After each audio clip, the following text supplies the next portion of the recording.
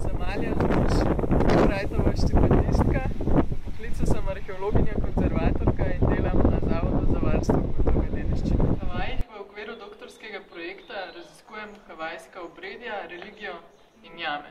Ker se polprofesionalno ukvarjam s kettlebell liftingom, sem izredno vesela, da imam priložnost trenirati v moderno opremljeni telovadnici na Kipusu. V času, ko sem na Havajih,